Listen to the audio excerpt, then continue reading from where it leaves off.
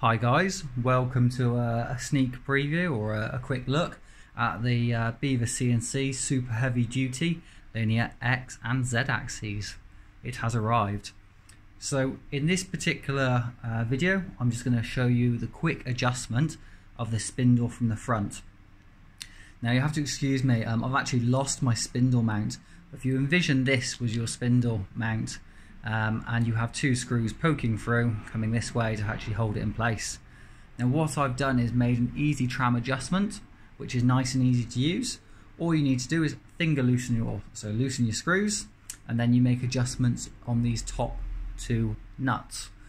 All you need to do is put your Allen key in place or in situ, try and get them in there and then holding it in place you just twist around and as you'll see that line just raises or lowers. Now you've got adjustment on both sides so you should have uh, enough uh, adjustment to lower it or raise it by I think two millimeters by using both sides adjustment if that was needed. Uh, but typically these things are within fractions of a millimeter.